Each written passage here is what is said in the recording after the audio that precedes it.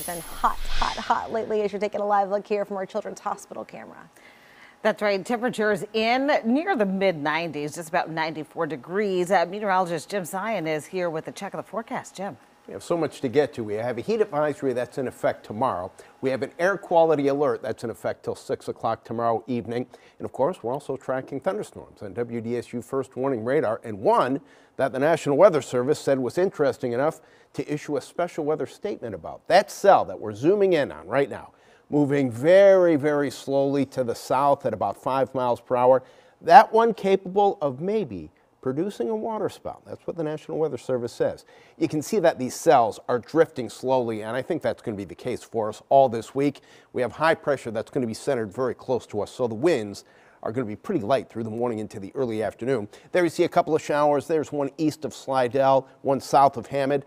Might have a few more showers and thunderstorms popping up here in the next couple of hours. They should be wrapping up at about 7 o'clock tonight. Okay, here's the heat advisory in effect tomorrow. We don't have a heat advisory in effect today. Tomorrow, maybe a degree warmer, a little more humidity in the atmosphere, so it's going to feel like it's 112 in some locations tomorrow. Feels close to that right now, 97 in Bogalusa. These are the actual temperatures. 96 our current temperature in Hammond. We're at 92 in Kenner. A few of these readings might be just a little bit rain cooled, but here it is. The heat index feels like 107 right now in Slidell, 105 in Baton Rouge. It's going to be hot most of this week. Current conditions at Louis Armstrong International Airport show you a key. That dew point has come up. Over the weekend, the dew points were in the low 70s, even in the 60s in the morning on the North Shore. More moisture in the atmosphere. That means we're going to have a few more showers and thunderstorms too as we look toward the next few days. But this is going to be the dominant weather feature for us. High pressure at the mid and upper levels of the atmosphere. It's going to keep us hot. It's going to keep us pretty dry until the mid afternoon, and that's when we're going to see some of that rain developing. Let's go to the tropics because we have our newest tropical storm. We told you at the beginning of this show 2,270 miles exactly from our studios right here at WDSU.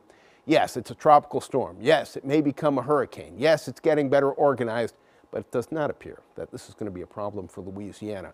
Could become a Category 2 hurricane by late in the week and over the weekend. Bermuda, obviously very concerned about this storm, but all the computer models, due to high pressure making its way farther to the east, taking it on that turn, keeping it well away from Florida, Louisiana, most of the United States. It's good news for us, quite obviously. All right, let's show you how it plays out this evening. 7 o'clock tonight, stop it right there. May have one or two showers at that point, but the showers should be wrapping up. Tomorrow morning, we're going to start one more time. Low 70s in a few spots on the North Shore, but we have that heat advisory in effect. Your afternoon, well, we're going to get well into the 90s, upper 90s in a lot of spots. Chance for rain officially tomorrow, like today, at about 20%. By the mid-afternoon, we should be in the upper 90s in a lot of spots. A chance for rain staying in the 20 to 30% range for most of this week. Over the weekend, though, we may have a better chance for rain thanks to a cold front that's going to be getting a bit closer to us. Showers end tonight by about 7, 7.30. Then we become clear, mainly dry. Again, temperatures on the North Shore, low to mid 70s, warmer everywhere else. Could have a coastal shower first thing tomorrow morning. I think it would be very isolated. Then partly cloudy, 20% chance for afternoon showers and thunderstorms tomorrow and Wednesday. Obviously, we have that heat advisory in effect, so weather impact days for us through Thursday. Chance for rain may be going up a little bit by Saturday night. We'll talk more about that coming up in our later newscast right here on WDSU.